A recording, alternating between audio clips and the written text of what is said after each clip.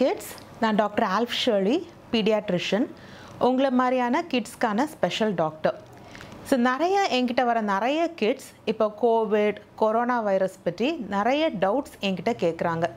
So இந்த மாதிரி சில கிட்ஸ் என்கிட்ட கேட்ட சில டவுட்ஸும் அதுக்கு நான் சொன்ன ஆன்சர்ஸையும் இந்த வீடியோவில் ப்ரெசென்ட் பண்ணலான் இருக்கிறேன். இது சின்ன கிட்ஸ்க்கான ஒரு பேசிக் எக்ஸ்ப்ளனேஷன் வீடியோ ஸோ இதை தவிர உங்களுக்கு அட்வான்ஸ்ட் இன்ஃபர்மேஷன் வேணும்னா உங்கள் பேரண்ட்ஸ் கிட்ட கேளுங்க. இல்லை உங்கள் ஃபேமிலி டாக்டர் கிட்ட டிஸ்கஸ் பண்ணிக்கங்க. Hi Dhanushka. How are you so what is COVID so இப்போ உள்ள நிறைய கிட்ஸ்க்கு வர வெரி காமன் கொஸ்டின் இது. ஸோ கோவிட் கொரோனா வைரஸ் இதெல்லாம் ரொம்ப நாளாக உங்கள் வீட்டில் பேரண்ட்ஸ் டிஸ்கஸ் பண்ணிகிட்ருப்பாங்க இருப்பாங்க. டிவியில் பார்த்துருப்பீங்க பேப்பரில் பார்த்துருப்பீங்க. அதை பற்றி உங்களுக்கு ஒரு ஐடியாவும் இருக்கும். ஆனால் கோவிட்னா என்னங்கிறத கொஞ்சம் பேசிக்காக சிம்பிளாக நான் இப்போ உனக்கு டீச் பண்ணுறேன் so Covid Covid nineteen கோவிடுங்கிறது corona virus disease so corona வைரஸுங்கிறது ஒரு ஃபேமிலி ஆஃப் வைரஸ் ஸோ வைரஸ்னால் என்னென்னா மைக்ரோ ஆர்கானிசம் இல்லைனா நுண்ணுயிர் கிருமி. இதை நம்ம கண்ணால் பார்க்க முடியாது. எலக்ட்ரான் மைக்ரோஸ்கோப்னு ஒரு ஸ்பெஷல் இன்ஸ்ட்ருமெண்ட் வச்சு அது கீழே மட்டும்தான் நம்ம வைரஸை பார்க்க முடியும். வைரஸில் நிறைய ஃபேமிலிஸ் இருக்குது. அதில் முக்கியமான ஒன்று கொரோனா வைரஸ் ஃபேமிலி இதை ஏன் கொரோனா வைரஸ்ன்னு சொல்கிறோம் ஸோ இந்த வைரஸோட பிக்சர் நீ பார்த்தேன்னா ஒரு பால் மாதிரி இருக்கும். அந்த பாலை சுற்றி க்ரௌன் ஷேப்பில் குட்டி குட்டி ஸ்பைக்ஸ் இருக்கும். ஸோ இதை பார்க்க ஒரு க்ரௌன் மாதிரி இருக்கிறனால இதை கொரோனா வைரஸ் ஃபேமிலின்னு சொல்கிறோம் இதில் நிறைய வெரைட்டிஸ் இருக்குது. அதில் டூ தௌசண்ட் நைன்டீனில் சைனாவில் இருக்கிற யூஹான்கிற ஒரு டவுனில் கண்டுபிடிச்ச ஒரு வெரைட்டி தான் novel corona virus two thousand nineteen இது காஸ் பண்ணுற டிசீஸ் தான் corona virus disease nineteen. So COVID nineteen. So COVID nineteen யாரை வேணாலும் இந்த வைரஸ் அஃபெக்ட் பண்ணலாம். இந்த வைரஸ் வந்தால் ஒரு சிலருக்கு எந்த ஒரு பிரச்சனையும் இல்லாமல் இருக்கும் சிம்டம்ஸ் இல்லாமல் இருக்கும். ஒரு சிலருக்கு மைல்டாக சில சிம்டம்ஸ் வரும். சிலருக்கு ரொம்ப சிவியராக சிம்டம்ஸ் இருந்து ஹாஸ்பிட்டலில் அட்மிட் பண்ண வேண்டியது கூட வரலாம். ஸோ என்ன மாதிரியான சிம்டம்ஸ் இந்த கொரோனா வைரஸ் ஹியூமன் பாடிக்குள்ளே என்ட்ராச்சுன்னா உங்களுக்கு என்ன மாதிரியான சிம்டம்ஸ்லாம் வரலான்னா ஃபீவர் காஃப் இருமல் இல்லை தொண்டவலி சோர் த்ரோட் நல்லா மூச்சு வாங்குறது டயரியா லூஸ் மோஷன் இல்லை டேஸ்ட் தெரியாமல் இருக்கிறது ஸ்மெல் தெரியாமல் இருக்கிறது உடம்பு வலி தலைவலி ரொம்ப டயர்டாக இருக்கிறது உடம்புல சிவப்பு சிவப்பான ஸ்கின் ரேஷஸ் இல்லை இந்த ஃபிங்கர் டிப்ஸ் விரல்களோட நுனிகளில் சில கலர்களில் மாற்றம் வர்றது இல்லை ரெட் பிளட்டில் ஆக்சிஜன் லெவல் குறையிறது இந்த மாதிரியான நிறைய சிம்டம்ஸ் நிறைய பிரச்சனைகள் கொரோனா வைரஸ்னால அஃபெக்ட் ஆனவங்களுக்கு பாடியில் வரலாம். ஸோ இந்த கொரோனா வைரஸ் ஒருத்தர்கிட்ட இருந்து இன்னொருத்தங்களுக்கு எப்படி ஸ்ப்ரெட் ஆகும்? எச்சில் துளிகள் இங்கிலீஷில் ட்ராப்லெட்னு சொல்லுவோம். அதாவது ஒரு கொரோனா வைரஸ் அஃபெக்ட் ஆகிற பேஷண்ட்டோட வாய் மற்றும் மூக்கில் சில செக்ரீஷன்ஸ் இருக்கும். இந்த செக்ரீஷன்ஸ் அவங்க காஃப் பண்ணும்போது ஸ்னீஸ் பண்ணும்போது இல்லை அந்த செக்ரீஷன்ஸ் வெளியே வரும்போது எச்சில் துளிகளாக ஃபார்ம் ஆகி வெளியே ஏரில் வரும். இது கொரோனா வைரஸ் இல்லாத ஒரு பர்சனோட வாய் மூக்கு கண்குள்ளே என்றாகும்போது அந்த வைரஸ் அந்த பர்சனோட பாடிக்குள்ளே போய் அவங்களுக்கும் கொரோனா வைரஸ் இன்ஃபெக்ஷன் வரலாம். இது தவிர இந்த எச்சில் துளிகள் மற்ற சர்ஃபஸஸ் இங்கே சுற்றி ஏதாவது இருக்குது டோர் இருக்குது இல்லை டேபிள் இருக்குது அந்த மாதிரி ஏதாவது சர்ஃபஸ் இருந்தால் அந்த சர்ஃபஸ்லேயும் போயிருக்கும். இந்த சர்ஃபஸை யாராவது டச் பண்ணி அதை டச் பண்ண கையை அவங்க வாய் மூக்கு கண் பக்கத்தில் கொண்டு போனாலும் அடுத்தவங்களுக்கு கொரோனா வைரஸ் வரலாம். ஸோ இப்படி தான் கொரோனா வைரஸ் ஒருத்தர்கிட்ட இருந்து இன்னொருத்தருக்கு ஸ்ப்ரெட் ஆகுது. ஸோ இந்த கொரோனா வைரஸை பேண்டமிக்னு சொல்லுவோம். பேண்டமிக் தமிழில் பெருந்தொற்று. தொற்று நோய்னா என்னென்னா இங்கிலீஷில் இன்ஃபெக்ஷியஸ் டிசீசஸ்ன்னு சொல்லுவோம். ஒருத்தர்கிட்ட இருந்து இன்னொருத்தருக்கு ஸ்ப்ரெட் ஆகிற ஒரு கிருமி வழியாக வர டிசீஸ் தான் இன்ஃபெக்ஷியஸ் டிசீஸ் இது வேர்ல்டு ஃபுல்லாக ஒரு ஒன்றுக்கும் மேலே உள்ள காண்டினென்ட்ஸில் ஸ்ப்ரெட் ஆகிருக்கும்போது அதை பேண்டமிக் இல்லைனா பெருந்தொற்றுன்னு சொல்லுவோம். இப்போ இந்த கோவிட் டிசீஸ் நீ வாட் இஸ் கோவிட் கேட்டால அந்த கோவிட் டிசீஸ் இப்போ ஒரு பேண்டமிக்காக ஸ்ப்ரெட் ஆகிருக்குது வேர்ல்டு ஃபுல்லாக இருக்குது நிறைய பேரை அஃபெக்ட் பண்ணியிருக்குது. ஸோ கோவிட்னா என்னன்னு தனிஷ்கா இப்போ ஒரு பேசிக் இன்ஃபர்மேஷன் உனக்கு கிடச்சிருக்கும். இதுக்கு மேலே டவுட்ஸ் இருந்ததுன்னா பேரண்ட்ஸ் உங்கள் டாக்டர்ஸ் கிட்ட கன்சல்ட் பண்ணிக்கோ. டைம்ல எப்படி தான் கிட்ஸ் சேஃபாக இருக்கணும்? Hi Jiya so COVID situation கிட்ஸுக்கு ஒரு பயமான ஒரு சுச்சுவேஷன் தான் Jiya. I understand your question understand your concern so kids எப்படி இந்த கொரோனா சுச்சுவேஷனில் சேஃபாக இருக்கிறதுன்னு கேட்டிருக்கேன் அதுக்கு நான் உனக்கு ஒரு சில டிப்ஸ் கொடுக்குறேன். ஃபர்ஸ்ட் ஸ்டே ஹோம் ஸோ தேவையில்லாமல் வீட்டை விட்டு கிட்ஸ் வெளியே போகக்கூடாது. தேவையில்லாமல் வெளியே போகும்போது கொரோனா வைரஸ் வரதுக்கான சான்சஸ் கொஞ்சம் ரிஸ்க் அதிகமாகுது. அதனால் வீட்டிலே பேரண்ட்ஸ் கூட விளையாடிட்டு ஹாபீஸ் ஏதாவது ஃபாலோ பண்ணிவிட்டு வீட்டிலே கிட்ஸ் சேஃபாக இருக்கணும். வீட்டில் இருந்து வெளியே போகிற பேரண்ட்ஸ் வீட்டை வீட்டை விட்டு வெளியே போக வேண்டியது இருக்கும். திரும்ப வீட்டுக்கு வரும்போது அவங்க ப்ராப்பராக ஹேண்ட் வாஷ் பண்ணுறாங்களான்னு பார்த்துக்குங்க. பேரண்ட்ஸ் ஹேண்ட் வாஷ் பண்ண பிறகு அவங்க கூட அசோசியேட் பண்ணுங்கள் ஸோ ஸ்டே ஹோம் வீட்டை விட்டு யாராவது வெளியே போகிறவங்க வீட்டுக்கு திரும்ப வரும்போது அவங்கக்கிட்ட இருந்து உங்களுக்கு இன்ஃபெக்ஷன் வராமல் ஸ்டே சேஃப் ஸோ இன்னும் ஒரு முக்கியமான விஷயம் என்னென்னா வீட்டில் யாராவது சிக்காக இருக்காங்க. உங்கள் தாத்தா பாட்டி அம்மா அப்பா அங்கிள் ஆண்டி யாராவது வீட்டில் யாருக்காவது ஃபீவர் இருக்குது காஃப் இருக்குது சிக்காக இருக்காங்கன்னா அவங்க அவங்களே ஐசோலேட் பண்ணிக்குவாங்க.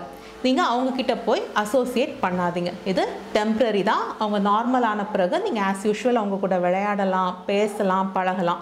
பட் அவங்க சிக்காக இருக்கிற வரைக்கும் அவங்க கொஞ்சம் ஐசோலேட் பண்ணிக்கிட்டோ அவங்க கூட அசோசியேட் பண்ணாதீங்க.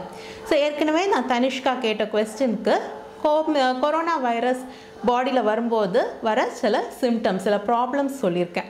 அந்த மாதிரி ஏதாவது ப்ராப்ளம்ஸ் உங்களுக்கு இருந்தது? ஃபீவர் இருக்குது காஃப் இருக்குது சோர் த்ரோட் இருக்குது தொண்டை வலி இல்லை டயரியா ஏதாவது ப்ராப்ளம் உங்களுக்கு இருந்ததுன்னா உடனே உங்கள் பேரண்ட்ஸ்கிட்ட சொல்லுங்கள் நீங்கள் உடனே உங்கள் பேரண்ட்ஸ்கிட்ட சொல்லும்போது பேரண்ட்ஸ் உங்களை டாக்டர்கிட்ட கூட்டிகிட்டு போய் தேவையான இன்வெஸ்டிகேஷன்ஸ்லாம் பண்ணி உங்களை சேஃபாக வச்சுக்குவாங்க. ஜியா என்ன இன்னொரு விஷயம் அண்டர்ஸ்டாண்ட் பண்ணிக்கணும். ஸோ உனக்கு ஏதாவது ஃபீவர் காஃப் கோல்டு இது மாதிரி ஏதாவது ப்ராப்ளம் இருந்ததுன்னா உங்கள் வீட்டில் இருக்கிற எல்டர்ஸ் வேறு சில டிசீஸ் இருக்கிறவங்க இவங்கக்கிட்ட நீ அசோசியேட் பண்ணுறத கொஞ்சம் குறைச்சிக்கணும். ஏன்னா கொஞ்சம் எல்டர்ஸ் ஸோ வயசானவங்க வேறு டிசீஸ் இருக்கிறவங்கலாம் உடம்புல கொஞ்சம் இம்யூனிட்டி கம்மியாக இருக்கும். ஸோ கொரோனா வைரஸ் இன்ஃபெக்ஷன் வரதுக்கான சான்சஸ் அவங்களுக்கு ரொம்ப அதிகம். அப்படி இன்ஃபெக்ஷன் வந்தாலும் அவங்களுக்கு வர டிசீஸ் கொஞ்சம் சிவியராக இருக்கிறதுக்கு சான்சஸ் இருக்குது.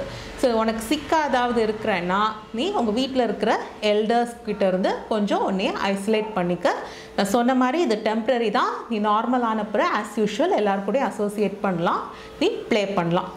இது தவிர உனக்கு மூணு இம்பார்ட்டண்ட் வெப்பன்ஸ் இருக்குது உனக்கு ஒன்றே நீ சேஃபாக வச்சுக்கிறதுக்காக கொரோனா வைரஸ் வராமல் இருக்கிறதுக்காக உனக்கு த்ரீ இம்பார்ட்டண்ட் வெப்பன்ஸ் இருக்குது ஸோ அந்த த்ரீ இம்பார்ட்டண்ட் வெப்பன்ஸ் என்னென்னா ஒன்று ஃபேஸ் மாஸ்க் ஃபேஸ் மாஸ்க் தான் உன்னோட most important weapon the second weapon hand hygiene அது நீ ஹேண்ட் வாஷ் பண்ணிக்கலாம் ஹேண்ட் ரப் பண்ணிக்கலாம். அதை பற்றி பின்னாடி நான் டீச் பண்ணுறேன் so hand hygiene face mask social distancing இந்த மூணும் உன்னோட இம்பார்ட்டண்ட் வெப்பன்ஸ் ஸோ இந்த மூணு வெப்பனையும் நீ யூஸ் பண்ணேன்னா நீ ஒன்னே நீ சேஃபாக வச்சுக்கலாம். Stay safe Jiya. Thank you doctor mask எப்படி போடணும். ஹாய் ஹெப்சிபா எப்படி இருக்கீங்க? ஸோ மாஸ்க் எப்படி போடணும்னு ஒரு கொஸ்டின் கேட்டிருக்கீங்க. மாஸ்க்குங்கிறது உங்களுக்கு ஒரு புது விஷயமா இருந்துக்கும் ஸோ எப்போவுமே யூஸ்வலாக டாக்டர்ஸ் நர்சஸ் ஹாஸ்பிட்டலில் ஒர்க் பண்ணுறவங்க இந்த மாதிரி சில ஸ்பெஷல் சுச்சுவேஷன்ஸில் மட்டுமே யூஸ் பண்ணிகிட்டு இருந்த மாஸ்க் இப்போ எல்லாருமே ரெகுலர் பேசிஸில் யூஸ் பண்ணிகிட்ருக்கோம் இப்போ இந்த மாஸ்க் எதுக்காக போடணும்? ஸோ அதுக்கு மாஸ்க் போடணுங்கிறத உனக்கு புரிஞ்சுக்கிறதுக்கு எப்படி கோவிட் வைரஸ் ஒருத்தர்கிட்ட இருந்து இன்னொருத்தருக்கு ஸ்ப்ரெட் ஆகுதுன்னு உனக்கு புரியணும். ஸோ எச்சில் துளிகள் அதாவது ட்ராப்லெட் இன்ஃபெக்ஷன் மூலமாக ஒருத்தர்கிட்ட இருந்து இன்னொருத்தருக்கு இது ஸ்ப்ரெட் ஆகுது. ஒருத்தர் மாஸ்க் போட்டுக்கும் போது அவர் பாடியில் கொரோனா வைரஸ் இருந்ததுன்னா அது அவர்கிட்ட இருந்து அடுத்தவங்களுக்கு ஸ்ப்ரெட் ஆகிறதுக்கான வாய்ப்பு ரொம்ப கம்மி. இது தவிர இன்னொருத்தர் மாஸ்க் போட்டிருந்தாருன்னா வைரஸ் இல்லாத ஒருத்தருக்கு அந்த மாஸ்க்கை தாண்டி பாடிக்குள்ளே கொரோனா வைரஸ் வரதுக்கான சான்சஸ் கம்மி. ஸோ இப்படி ஒரு பேரியர் இருந்து ஒரு தடுப்பாக இருந்து மாஸ்க் நம்மளை ப்ரொடெக்ட் பண்ணுது. இப்போ டூ இயர்ஸ்க்கு கீழே இருக்கிற கிட்ஸ் ஸோ இந்த மாதிரி கிட்ஸில் டூ இயர்ஸ்க்கு கீழே இருக்கிறவங்களுக்கு மாஸ்க் போட வேண்டிய தேவையில்லை. டூ இயர்ஸ்க்கு மேலே இருக்கிற எல்லாருமே கண்டிப்பாக மாஸ்க் போட்டுக்கணும். மார்க்கெட்டில் இப்போ நிறைய டைப்ஸ் ஆஃப் மாஸ்க் அவைலபிளாக இருக்குது. கிளாத் மாஸ்க் இதுதான் நிறைய பேர் நார்மலாக யூஸ் பண்ணிகிட்ருக்காங்க இது N ninety five mask so யூஸ்வலாக ஹாஸ்பிட்டல் செட்டிங்கில் ஹெல்த் கேர் செட்டிங்கில் ஒர்க் பண்ணுறவங்க அதிகமாக யூஸ் பண்ணுவாங்க. மற்றபடி நார்மலாக எல்லா மக்களுமே யூ- இப்போ யூஸ் பண்ணுறாங்க இது ஒரு டைப் ஆஃப் மாஸ்க் கொஞ்சம் அதிகமான ப்ரொடெக்ஷன் கொடுக்குற மாஸ்க் என்னோட டிஸ்போசபிள் சர்ஜிக்கல் மாஸ்க் ஸோ இந்த மாதிரி டிஸ்போசபிள் சர்ஜிக்கல் மாஸ்க்கும் அவைலபிளாக இருக்குது. இது ஒரு டைப் ஆஃப் மாஸ்க் இது தவிர இந்த மாதிரி வேல் வச்ச மாஸ்க் அவைலபிளாக இருக்குது இதை நம்ம யூஸ் பண்ணக்கூடாது. வேல் வச்ச மாஸ்க் யூஸ் பண்ணும்போது கொரோனா இப்போ ஒருவேளை வேல் வச்ச மாஸ்க் போட்டிருக்கிறவங்களுக்கு கொரோனா இன்ஃபெக்ஷன் இருந்ததுன்னா அந்த வேல் வழியாக அது எஸ்கேப் ஆகி வெளியே போகிறதுக்கான வாய்ப்பு இருக்குது. அதனால வேல் வச்ச மாஸ்க் யூஸ் பண்ணக்கூடாது. இப்போ மாஸ்க் எப்படி சூஸ் பண்ணுறது எப்படி யூஸ் பண்ணுறதுன்னு சொல்கிறேன் ஸோ உங்கள் மாஸ்க் இவங்க போட்டிருக்கிற மாதிரி உங்களோட மூக்கு வாய் மற்றும் சின் அடித்தாடை மூணையுமே ஃபுல்லாக கவர் பண்ணுற மாதிரி இருக்கணும். இது தவிர உங்கள் ஃபேஸோட சைடையும் கவர் பண்ணணும் இயர் லூப் கம்ஃபர்டபுளாக உங்கள் இயருக்கு பின்னாடி ஃபிட் ஆகிற மாதிரி இருக்கணும். ஸோ ரொம்ப லூஸாக இருக்கக்கூடாது. கரெக்டாக ஃபேமாக ஃபிட் ஆகணும். ஆனால் உங்களுக்கு மூச்சு விடக்கூட முடியாத அளவுக்கு ரொம்ப டைட்டாகவும் இருக்கக்கூடாது. இந்த மாதிரி தான் ஒரு மாஸ்க் நம்ம கரெக்டாக சூஸ் பண்ணணும் அது நம்ம கிளாத் மாஸ்க்காக இருக்கலாம். கிளாத் மாஸ்க் நீங்கள் சூஸ் பண்ணுற பட்சத்தில் நிறைய கிளாத் லேயர்ஸ் சேர்த்து வச்சு அந்த கிளாத்தோட ஃபைபரில் உள்ள இழைகள் ரொம்ப க்ளோஸாக உள்ள மாதிரி பார்த்து அந்த மாஸ்க் யூஸ் பண்ணும். ஸோ ஒரு கிளாத் மாஸ்க் எப்படி கரெக்டானதா இல்லையான்னு நம்ம செக் பண்ணலான்னா அந்த மாஸ்க்குக்கு பின்னாடி நீங்கள் ஒரு லைட் ஒரு டார்ச் லைட் அடித்து பார்த்தீங்கன்னா அந்த லைட் அந்த மாஸ்க் வழியாக பாஸ் பண்ணக்கூடாது. அப்போ தான் அந்த மாஸ்க் உங்களுக்கு ஓரளவுக்கு ஒரு ப்ரொடெக்ஷன் கொடுக்குதுன்னு அர்த்தம். ஸோ இந்த மாதிரி தான் நீங்கள் கரெக்டான மாஸ்க் சூஸ் பண்ணணும் இது தவிர ஏற்கனவே காட்டின மாதிரி நீங்கள் disposable three layered surgical mask use பண்ணிக்கலாம். என் நைன்டி ஃபைவ் மாஸ்க் எல்லாமே யூஸ் பண்ணிக்கலாம். ஸோ மாஸ்க் எப்படி போடணும்? எப்படி கலத்தணுங்கிறத பார்ப்போம். மாஸ்க் போடுறதுக்கு முன்னாடி ஹேண்ட் ஹைஜீன் பெர்ஃபார்ம் பண்ணிக்கணும். நல்லா ஹேண்ட் வாஷ் பண்ணிக்கலாம். இல்லை ஹேண்ட் சானிடைசர் வச்சு நல்லா ஹேண்ட் ரப் பண்ணிக்கலாம். ஹேண்ட் ஹைஜீன் பெர்ஃபார்ம் பண்ணிவிட்டு மாஸ்க்கை நல்லா நான் ஏற்கனவே சொன்ன மாதிரி கரெக்டாக ஃபிட் ஆகிற மாதிரி மாஸ்க்கை போட்டுக்குங்க. மாஸ்க் போட்டு முடிச்சுட்டு நீங்கள் நடுவில் நடுவில் மாஸ்க்கை டச் பண்ணுறது மாஸ்க்கை கலத்தி எங்கேயாவது வச்சுட்டு திரும்ப போடுறது இந்த மாதிரி விஷயங்கள்லாம் கொஞ்சம் அவாய்ட் பண்ணுங்கள் நடுவில் ஏதாவது மாஸ்க் டச் பண்ண வேண்டியது இருந்ததுன்னா திரும்ப ஒரு hand rub hand rub use பண்ணிக்கங்க. ஹேண்ட் சானிடைசர் வச்சு ஹேண்ட் ஹைஜீன் பெர்ஃபார்ம் பண்ணிக்கங்க. திரும்ப மாஸ்க்கை கழத்தும் போது இந்த சென்டரில் இருக்கிற ஃபேப்ரிக் பார்ட்டை டச் பண்ணக்கூடாது. இயர் லூப்பை பிடிச்சு மாஸ்க்கை கலத்தி டிஸ்போசபிள் மாஸ்க்னால் அப்படியே டிஸ்போஸ் பண்ணிடணும் கிளாத் மாஸ்க்காக இருக்கிற பட்சத்தில் டெய்லி இதை நீங்கள் வாஷ் பண்ணிக்கணும். மாஸ்க்கை நீங்கள் கலத்தி முடிச்சுட்டு அடுத்து திரும்ப ஹேண்ட் வாஷ் இல்லைனா ஹேண்ட் சானிடைசர் வச்சு ஹேண்ட் ஹைஜீன் பெர்ஃபார்ம் பண்ணிக்கணும். ஸோ எப்போ இந்த ஹே இந்த மாஸ்க்கை நம்ம டிஸ்கார்ட் பண்ணணும்? Disposable mask one time use தான் உடனே நீங்கள் டிஸ்கார்ட் பண்ணிக்கணும். கிளாத் மாஸ்க்காக இருக்கிற பட்சத்தில் அதை நீங்கள் டெய்லி வாஷ் பண்ணி வச்சுக்கணும். ஒருத்தர் யூஸ் பண்ணுற மாஸ்க் கண்டிப்பாக இன்னொருத்தர் யூஸ் பண்ணக்கூடாது. மாஸ்கில் ஏதாவது கிழிஞ்சிருக்குது டேமேஜ் ஆகிருக்குது ரொம்ப அழுக்காக இருக்குதுன்னா அந்த மாஸ்க்கை நீங்கள் டிஸ்கார்ட் பண்ணிக்கணும். ஸோ இந்த மாதிரி தான் நம்ம ஒரு மாஸ்க்கை சேஃபாக யூஸ் பண்ணிக்கணும். இந்த மாஸ்கோட எஃபெக்டிவ்னஸை இம்ப்ரூவ் பண்ணுறதுக்கு உங்களுக்கு நான் ரெண்டு டெக்னிக் சொல்லித்தரேன். First technique knot and tuck technique இன்னொன்று டபுள் மாஸ்கிங் டெக்னிக் ஸோ எப்படி இந்த நாட் அண்ட் டக் டெக்னிக்கை ஃபாலோ பண்ணலான்னு பார்க்கலாம். ஸோ மாஸ்க் யூஸ் பண்ணுறதுக்கு முன்னாடி எப்போவுமே ப்ரிஃபரபிளி நல்ல ஹேண்ட் சானிடைசர் இல்லை ஹேண்ட் வாஷ் பண்ணி நல்ல ஹேண்ட் ஹைஜீன் பெர்ஃபார்ம் பண்ணிக்கோங்க. நாட் அண்ட் டக் டெக்னிக் நம்ம டிஸ்போசபிள் சர்ஜிக்கல் மாஸ்கில் ஃபாலோ பண்ணணும். சர்ஜிக்கல் மாஸ்கில் பார்த்தீங்கன்னா மேலே ஒரு சின்ன நோஸ் ஒயர் ஒரு ஃபேர்மாக ஒரு ஸ்ட்ரிப் இருக்கும். இது நோஸ் ஒயர் கரெக்டாக நோஸை சுற்றி மாஸ்க் ஃபிட்டின் ஆகிறதுக்கு நமக்கு ஹெல்ப் பண்ணுறதுக்காக தான் இந்த நோஸ் ஒயர் ஸோ இந்த சர்ஜிக்கல் மாஸ்க்கை நம்ம ரெண்டாக ஃபோல்ட் பண்ணிக்கலாம். ஃபோல்ட் பண்ணிவிட்டு ரெண்டு சைடும் இயர் லூப் இருக்குது இதுக்கு பேர் இயர் லூப் இந்த இயர் லூப்பில் நம்ம ஒரு நாட் போடணும். இதுதான் ஃபர்ஸ்ட் ஸ்டெப் இந்த நாட் எவ்வளோ தூரம் நம்ம இந்த ஃபேப்ரிக்கு பக்கத்தில் வருதோ சென்டர் பார்ட்டுக்கு அது மாதிரி ஒரு நாட் போட்டுக்கணும். ரெண்டு சைடும் போட்டுக்கணும்.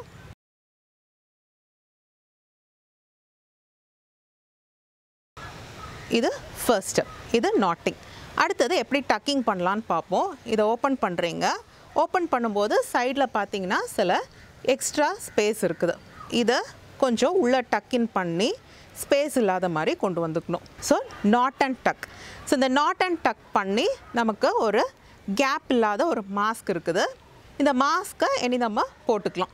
ஸோ இப்போ பார்க்குறீங்க நாங்கள் நல்ல நோஸ் கவராக இருக்குது மவுத் கவராக இருக்குது கீழே இருக்கிற சின்ன அடித்தாடை கவராக இருக்குது மேலே இருக்கிற நோஸ் ஒயரை நல்லா க்ளீனாக அட்ஜஸ்ட் பண்ணி எந்த சுற்றி ஏர் லீக்கேஜ் இல்லாமல் போட்டிருக்காங்க. ஸோ இது நாட் அண்ட் டக் மெத்தட் இந்த மாதிரி மெத்தடில் நம்ம மாஸ்க் யூஸ் பண்ணும்போது மற்ற நார்மலாக நீங்கள் டிஸ்போசபிள் மாஸ்க் யூஸ் பண்ணுறத விட கொஞ்சம் எஃபெக்டிவாக இருக்கும். இன்னொரு டெக்னிக் என்னென்னா double masking technique double masking டெக்னிக்கிறது நீங்கள் கீழே ஒரு டிஸ்போசபிள் மாஸ்க் போட்டுக்கலாம். அதை நாட் அண்ட் டக் டெக்னிக்லே நல்லா ஃபேமாக போட்டுட்டு அதுக்கு மேலே ஒரு கிளாத் மாஸ்க் போட்டுக்கிறது தான் double masking so single mask ஒரு கிளாத் மாஸ்க் மட்டும் யூஸ் பண்ணுறத விட இது கொஞ்சம் பெட்டர் எஃபெக்டிவாக இருக்கும்.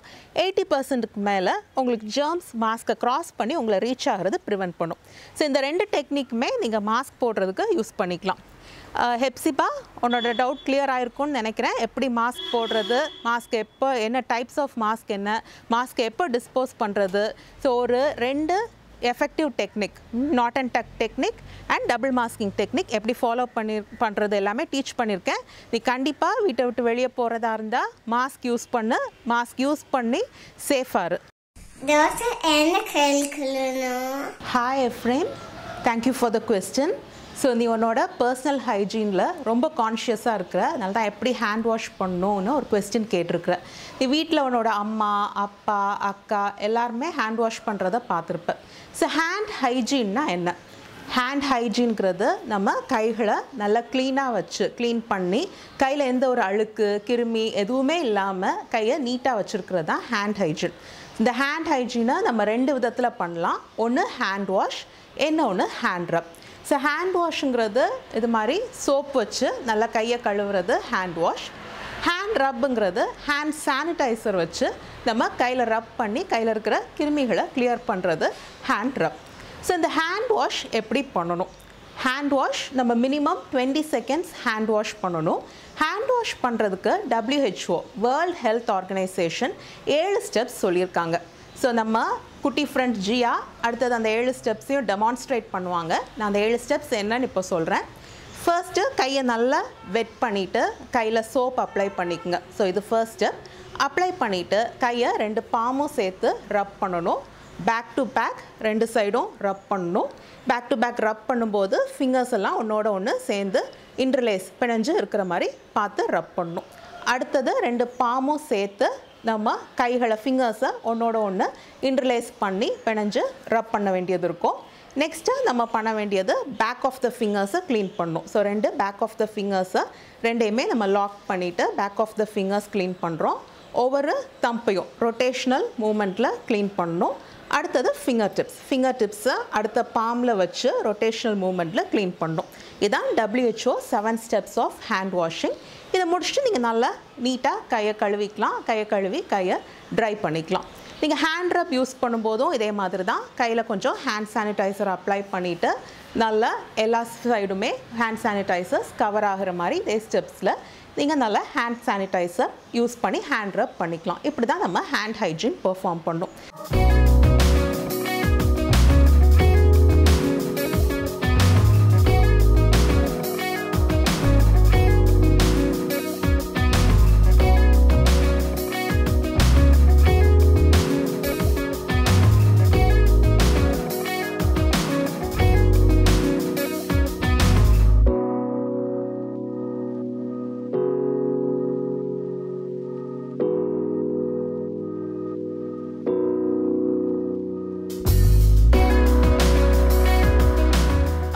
தேங்க்யூ ஜியா ரொம்ப பியூட்டிஃபுல்லாக எப்படி ஹேண்ட் வாஷ் பண்ணணும்னு டெமான்ஸ்ட்ரேட் பண்ண. தேங்க்யூ ஸோ எதுக்காக ஹேண்ட் ஹைஜீன் பெர்ஃபார்ம் பண்ணும்?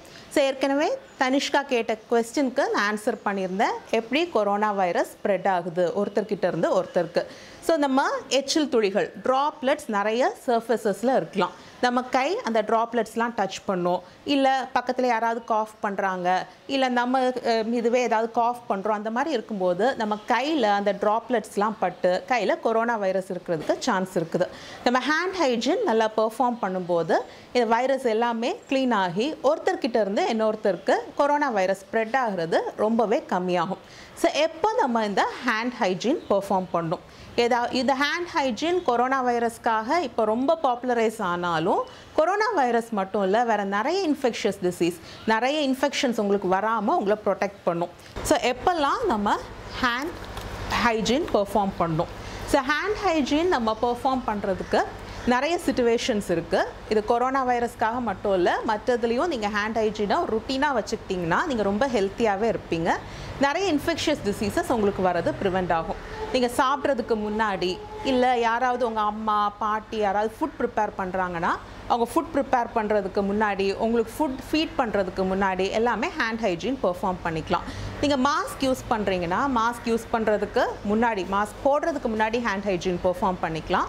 மாஸ்க்கை ரிமூவ் பண்ண பிறகு ஹேண்ட் ஹைஜீன் பெர்ஃபார்ம் பண்ணணும் இன் பிட்வீன் நீங்கள் ஏதாவது மாஸ்க்கை டச் பண்ணுறீங்க இல்லை உங்கள் ஃபேஸை டச் பண்ணுறீங்க நோஸ் டச் பண்ணுறீங்க காஃப் பண்ணுறீங்க ஸ்னீஸ் பண்ணுறீங்க இந்த மாதிரி சுச்சுவேஷன்ஸ்லையும் ஹேண்ட் ஹைஜீன் பெர்ஃபார்ம் பண்ணிக்க உங்கள் பக்கத்தில் யாராவது காஃப் பண்ணுறாங்க ஸ்னீஸ் பண்ணுறாங்க இல்லை ஏதோ ஒரு சர்ஃபஸ் நீங்கள் டச் பண்ணிட்டீங்க இந்த மாதிரி சுச்சுவேஷன்லேயும் ஹேண்ட் ஹைஜீன் பெர்ஃபார்ம் பண்ணுறது ரொம்ப நல்லது.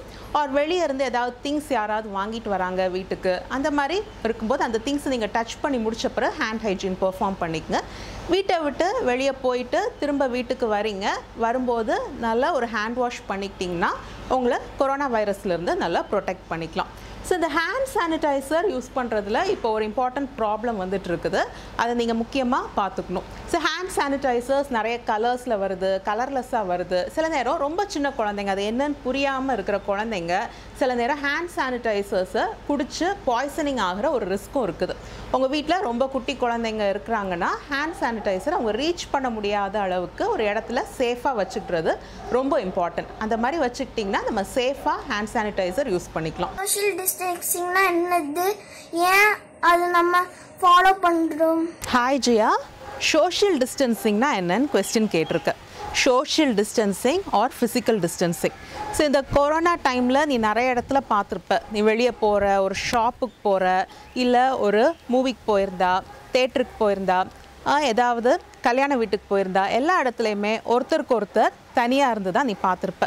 இது உனக்கு கொஞ்சம் டிஃப்ரெண்ட்டாக இருந்திருக்கும். இவ்வளோ நாள் எல்லாரும் சேர்ந்து இருக்கிறது ஹக் பண்ணுறது எல்லோரும் பக்கத்தில் பக்கத்தில் இருந்து பேசி அசோசியேட் பண்ணதை பார்த்த உனக்கு இது கொஞ்சமே டிஃப்ரெண்ட்டாக இருந்திருக்கும். ஏன் எல்லாரும் தள்ளி தள்ளி இருக்கிறாங்க? ஸோ இதுக்கு பேர் தான் social distancing or physical distancing so நீங்கள் பார்க்குற இங்கே மூணு பேர் இருக்கிறாங்க. மூணு பேரும் அவங்களுக்கு நடுவில் ஒரு சிக்ஸ் ஃபீட் டிஸ்டன்ஸ் மெயின்டைன் பண்ணுறாங்க சிக்ஸ் ஃபீட்ங்கிறது டூ மீட்டர்ஸ் ஸோ ஒருத்தருக்கு ஒருத்தர் ஃபிசிக்கலி உடல் அளவில் ஒரு ஆறு ஃபீட் சிக்ஸ் ஃபீட் ஆறு அடி டிஸ்டன்ஸில் நிற்கிறது தான் நம்ம சோஷியல் டிஸ்டன்சிங்கான நார்ம்ஸ் சிக்ஸ் ஃபீட் நமக்கு எப்படி தெரியும்னா two arms length arm spread பண்ணி காட்டுறாங்க. இப்போ ரெண்டு ஆர்ம்ஸ் லென்த்துக்கு தான் உனக்கு விஷுவலாக பார்க்குறதுக்கு சிக்ஸ் ஃபீட் ஈஸியாக உனக்கு ரெகக்னைஸ் பண்ண முடியும். ஸோ இந்த சோஷியல் டிஸ்டன்சிங்னால என்ன அட்வான்டேஜ் சோஷியல் டிஸ்டன்சிங்னால நம்ம அட்வான்டேஜ்னு சொல்லிக்கிட்டோன்னா ஏற்கனவே நான் தனிஷ்கா கேட்ட கொஸ்டினுக்கு கொரோனா வைரஸ் எப்படி ஸ்ப்ரெட் ஆகுதுன்னு எக்ஸ்பிளைன் பண்ணியிருக்கேன். ஸோ ஒருத்தர்கிட்ட இருந்து இன்னொருத்தருக்கு கொரோனா வைரஸ் எச்சில் துளிகள் வழியாக ஸ்ப்ரெட் ஆகுது. இந்த மாதிரி அவங்க ஃபிசிக்கலி அவேயாக இருக்கும்போது சோஷியல் டிஸ்டன்சிங் மெயின்டைன் பண்ணும்போது ஒருத்தர் கொரோனா வைரஸ்னால் இன்ஃபெக்ட் ஆயிருந்தாலும் அந்த எச்சில் துளி அடுத்தவங்க பக்கத்தில் போய் அவங்க பாடிக்குள்ளே போகிறதுக்கான ரிஸ்க் ரொம்பவே கம்மி. அதனால தான் நம்ம social distancing with mask follow பண்ணோன்னா கொரோனா வைரஸோட இன்ஃபெக்ஷனை ரொம்ப குறைச்சிக்கலாம். ஸோ இது தவிர நம்ம ஒருத்தர் ஒருத்தர் டச் பண்ணுறது ஷேக் ஹேண்ட் பண்ணுறது இது எல்லாமே இப்போ அவாய்ட் பண்ணும். ஷேக் ஹேண்ட் பண்ணுறதெல்லாம் அவாய்ட் பண்ணி ஒருத்தர் ஒருத்தர் க்ரீட் பண்ணுறதுக்காக இந்த மாதிரி நம்ம ட்ரெடிஷன் படி வணக்கம் நம்ம சொல்கிறது தான் கொரோனா வைரஸ் ப்ரிவென்ட் பண்ணுறதுக்கான ஒரு டெக்னிக் இப்போது இப்போ உனக்கு சோஷியல் டிஸ்டன்சிங்னா என்ன? எதுக்காக நம்ம சோஷியல் டிஸ்டன்சிங் ஃபாலோ பண்ணுறோன்னு ஒரு ஐடியா கிடச்சிருக்கோம். வேறு ஏதாவது டவுட்ஸ் இருந்ததுன்னா உன் பேரண்ட்ஸ் கிட்ட கேளு. கொரோனா டைமில் என்ன ஹெல்த் ஃபுட் சாப்பிடணும்? ஹாய் லிஜ்வன் எனக்கு ரொம்ப ஹாப்பியாக இருக்குது நீ இந்த ஒரு யங் ஏஜில் எப்படி ஹெல்த்தியாக சாப்பிடணும்னு கேட்டிருக்க. இந்த கொரோனா டைமில் மட்டும் இல்லை வேறு எல்லா டைம்லேயுமே கிட்ஸ் ஹெல்த்தியாக சாப்பிடணும். ஹெல்த்தியாக சாப்பிடும்போது நீ ஓவராலாக ஹாப்பியாக இருப்ப உன் பாடி ஃபிட்டாக இருக்கும் ஆக்டிவாக இருக்கும். இது தவிர உன்னுடைய இம்யூனிட்டி நல்லா இம்ப்ரூவ் ஆகும். இம்யூனிட்டி நல்லா இம்ப்ரூவ் ஆகும்போது நீ கொரோனா வைரஸ் மட்டும் இல்லை வேறு எந்த வைரஸ் எந்த சிக்னஸுமே உன்னை வரதுக்கு உன்கிட்ட டச் பண்ணுறதுக்கான சான்சஸ் ரொம்பவே கம்மி. ஸோ எப்படி நம்ம நல்ல ஹெல்த்தியாக டயட் சாப்பிடணும்? First thing so say no to junk food so கிட்ஸுக்கு ரொம்ப பிடிச்ச junk food biscuits chips ice cream or chocolates bottle drinks இதெல்லாம் கிட்ஸுக்கு ரொம்ப பிடிக்கும். ஸோ எல்லா கிட்ஸுக்குமே இதை சாப்பிடணுன்னு ஆசை இருக்கும். ஆனால் once in a while maybe ஒரு வாரத்துக்கு ஒரு நாள் இல்லை ஒரு மாதத்துக்கு ஒரு நாள் இது மாதிரி ஒன்ஸ் இன் அ வைல் இந்த மாதிரி ஃபுட் சாப்பிட்டுக்கலாம். On regular basis say no to junk food so இதுதான் நீ ஃபாலோ பண்ண வேண்டிய ஃபர்ஸ்ட் ஸ்டெப் செகண்ட் நீ பண்ண வேண்டியது யூ ஷுட் ரீச் நீ வந்து ஒரு நல்ல fruits vegetables protein rich diet நீ ஃபாலோ பண்ணும். ஸோ ஒரு டயட்டில் நிறைய ஃப்ரூட்ஸ் இருக்கணும் நிறைய வெஜிடபிள்ஸ் இருக்கணும். ஸோ ஃப்ரூட்ஸ் அண்ட் வெஜிடபிள்ஸ் நிறைய சாப்பிடும்போது உனக்கு நிறைய vitamins minerals fibre anti oxidants எல்லாமே உன் டயட்டில் நிறைய கிடைக்கும். நிறைய கிடைக்கும்போது உன்னோட இம்யூனிட்டி ரொம்ப இம்ப்ரூவ் ஆகும் நீ ரொம்ப ஹெல்த்தியாக இருப்ப. இது தவிர உன் டயட்டில் நிறைய ப்ரோட்டீன் இருக்கணும். ப்ரோட்டீன் சில non veg sources of protein இருக்குது எக் இருக்குது சிக்கன் மட்டன் அந்த மாதிரி இருக்குது. இது தவிர நிலக்கடலை உனக்கு ரொம்ப பிடிச்ச நிலக்கடலை நிறைய கொண்ட நிறைய பயிர் வகைகள். ஸோ இது கொண்டக்கடலை இது மாதிரி சிறுபயிறு நட்ஸ் பாதாம் கேஷ்யூ வால்நட் இது மாதிரி நட்ஸ் ஸோ இது எல்லாத்துலேயுமே நிறைய ப்ரோட்டீன் இருக்குது. நிறைய க்ரோயிங் சில்ட்ரனுக்கு ப்ரோட்டீன் ரொம்ப தேவை. நிறைய ப்ரோட்டீன் ரிச் ஃபுட் நீ எடுத்துக்கணும். ஸோ இது தவிர இதில் dairy products milk curd cheese அது மாதிரி டைரி ப்ராடக்ட்ஸ் எடுத்துக்கணும். ஸோ ஒன்று நீ நல்லா ஹைட்ரேட் பண்ணிக்கிறது இம்பார்ட்டன்ட் நிறைய தேவையான அளவுக்கு நீ தண்ணி குடிக்கணும். இப்போ நான் உனக்கு மை பிளேட்னு ஒரு டயட் மெத்தட் சொல்லி கொடுக்க போகிறேன் இது United States department of agriculture devise பண்ணது. கிட்ஸ்க்கு மட்டும் இல்லை அடல்ட்ஸ்க்கும் இதை ஃபாலோ பண்ணலாம். Parents grandparents brother cousins எல்லாருமே ஃபாலோ பண்ணுற ஒரு சிம்பிள் டயட் இது. ஸோ இந்த டயட்டில் உன்னோட பிளேட்டை எப்படி டிசைன் பண்ணணும்னு சிம்பிளாக சொல்லி கொடுக்குறாங்க. ஸோ உன்னோட பிளேட்டை நீ எப்படி டிசைன் பண்ணணுன்னா உன்னோட பிளேட்டை ஃபர்ஸ்ட்டு ஹாஃபாக டிவைட் பண்ணிக்கணும். இதில் ஒன் ஹாஃப் ஆஃப் த பிளேட்டில் வெஜிடபிள்ஸ் அண்ட் ஃப்ரூட்ஸ் இருக்கணும். ஸோ இதான் ஃபர்ஸ்ட்டு ஸோ ஐடியலி என்ன சொல்லுவாங்கன்னா forty percent vegetables ten percent fruits thirty percent grains and twenty percent protein but நீ அதெல்லாம் கன்ஃபியூஸ் பண்ணிக்க வேண்டாம். உன்னோட பிளேட்டை ஹாஃபாக டிவைட் பண்ணு. ஹாஃபாக டிவைட் பண்ணி ஒன் ஹாஃபில் வெஜிடபிள்ஸ் அண்டு கொஞ்சம் ஃப்ரூட்ஸ் நீ செட் பண்ணிக்க. ஸோ அடுத்த ஹாஃபை நீ ரெண்டாக டிவைட் பண்ணிக்கணும். ஸோ ரெண்டாக டிவைட் பண்ணி அந்த அடுத்த ஹாஃபில் அதாவது குவார்ட்டர் அந்த பிளேட்டில் குவார்ட்டர் பார்ட்டில் ஹெல்த்தி கிரெயின்ஸ் ஹோல் கிரெயின்ஸ்னு சொல்கிறது ஸோ ஹெல்த்தியாக நல்ல இது மாதிரி சிவப்பரிசி ஹோல் கிரெயின் அரிசி ஹோல் கிரெயின்ஸில் பண்ண சப்பாத்தி இந்த மாதிரி ஏதாவது கிரெயின்ஸை அடுத்த குவார்ட்டர் பிளேட்டில் ஃபில் பண்ணிக்க.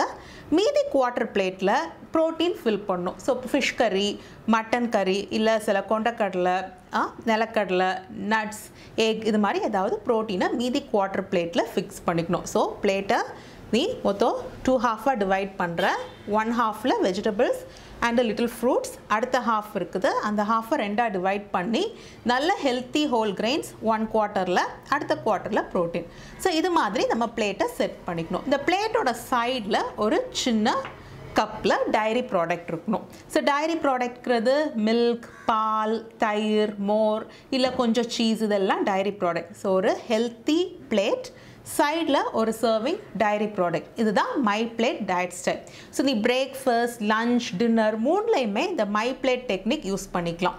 ஸோ டெய்லி நீ பிரேக்ஃபாஸ்ட் லஞ்ச் டின்னரோட சில ஸ்நாக்ஸ் இன் பிட்வீன் ஒரு த்ரீ டு ஃபோர் ஸ்நாக்ஸ் எடுத்துக்கலாம்.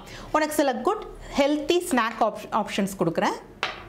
ஸோ ஃப்ரூட்ஸ் ஃப்ரூட்ஸ் ஒரு wonderful snack so in between meal நீ ஃப்ரூட்ஸ் எடுத்துக்கலாம்.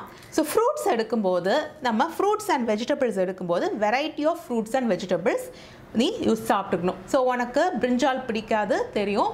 பட் உனக்கு ரொம்ப பிடிச்ச இந்த வெஜிடபிள் கேரட் ஸோ நீ டெய்லி எனக்கு கேரட் வேணும் கேரட் வேணும்னு அம்மாக்கிட்ட கேட்கக்கூடாது. ஸோ ஒரு நாள் கேரட் சாப்பிட்றேன்னா அடுத்த நாள் பீட்ரூட் சாப்பிடணும் அடுத்த நாள் பீன்ஸ் சாப்பிடணும். இப்படி நீ வெரைட்டியாக கலர்ஃபுல்லாக ஃப்ரூட்ஸ் அண்ட் வெஜிடபிள்ஸ் நீ சாப்பிட்டா தான் உனக்கு எல்லா நியூட்ரிஷனையும் உன் பாடியில் கிடைக்கும். ஸோ உனக்கு ஒரு ஸ்நாக் ஆப்ஷன் ஃப்ரூட்ஸ் சொல்லியிருக்கேன். மற்றபடி நீ இந்த மாதிரி இந்த மாதிரி கிரவுண்ட்நட் நிலக்கடலை இல்லை இந்த பயிர் வகைகள் பச்சை பயிறு கொண்டக்கடலை இதெல்லாம் அவங்க அம்மாக்கிட்ட சொல்லி முளைக்கட்டை வச்சு அதை நீ சாப்பிடலாம். இல்லை ஸ்நாக்ஸ்க்கு கேஷ்யூ நட் பாதாம் வால்நட்னு நட்ஸ் சாப்பிடலாம். ஸோ இது இல்லை உனக்கு ஏதாவது குடிக்கணும்னு இருந்ததுன்னா மில்க் மில்கில் கொஞ்சம் எலாச்சி ஏதாவது போட்டு குடிக்கலாம். மில்கில் சுகர் ஆட் பண்ணுறதை அவாய்ட் பண்ணு. அதுக்கு பதிலாக ஜாகரி அந்த மாதிரி ஏதாவது ஸ்வீட்னர் ஆட் பண்ணிக்கலாம். ஸோ இந்த மாதிரி நீ ஹெல்த்தியாக மை பிளேட் டெக்னிக் ஃபாலோ பண்ணி ஹெல்த்தியாக ஸ்நாக்ஸ் ஃபாலோ பண்ணும். இது நான் உனக்கு டீச் பண்ணுற ஒரு டயட் மெத்தட் ஸோ நீ மட்டும் இல்லை உன் வீட்டில் உன் பேரண்ட்ஸ்க்கும் இந்த டயட் மெத்தட் சொல்லிக் கொடு. சொல்லிக் கொடுத்து ஹெல்த்தியாக இரு. Eat a lot of fruits lot of vegetables have a lot of protein நல்ல இம்யூனிட்டி பூஸ்ட் ஆகி நல்ல ஹெல்த்தி டயட் ஃபாலோ பண்ணு. Bye Lijwan hi due to this corona situation வெளியில் எங்கேயும் போகவே முடியாது. ஃப்ரெண்ட்ஸ் கூட விளையாட முடியாது. டூருக்கு போக முடியாது. வீட்டுக்குள்ள வந்து கேஜெட்டை தான் பார்த்துட்டே இருக்கோம் I feel lonely at my home how to spend my time usefully hi Libin very sorry for you so இப்படி ஒரு சுச்சுவேஷன் நீ ஃபேஸ் பண்ண வேண்டியது இருக்குது. ரொம்ப லோன்லியாக ஃபீல் பண்ணுற வீட்டில் என்ன பண்ணுறதுன்னு தெரியாமல் கேட்ஜெட்ஸே பார்த்துட்ருக்குற. நீ மட்டும் இல்லை இந்த கோவிட் சுச்சுவேஷனில் நிறைய கிட்ஸ் இந்த மாதிரி நிறைய ப்ராப்ளம்ஸ் ஃபேஸ் பண்ணிகிட்ருக்காங்க என்கிட்ட வர நிறைய குட்டி கிட்ஸ்க்கு இப்போ ரெண்டு முக்கியமான ப்ராப்ளம்ஸ் இருக்குது. ஒரு ப்ராப்ளம் ஒபிசிட்டி இன்னொரு ப்ராப்ளம் பிஹேவியரல் ப்ராப்ளம் ஒபேசிட்டிங்கிறது கொஞ்சம் வெயிட் அதிகமாக இருக்கிறது. ஸோ கோவிட் சுச்சுவேஷனில் வெளியே போகாமல் ஃபிசிக்கல் ஆக்டிவிட்டீஸ் எதுவும் இல்லாமல் எக்ஸசைஸ் எதுவும் இல்லாமல் வீட்டிலே இருந்து நிறைய ஜங்க் ஃபுட் சாப்பிட்டு சாப்பிட்டு நிறைய கிட்ஸோட வெயிட் இன்க்ரீஸ் ஆகுது.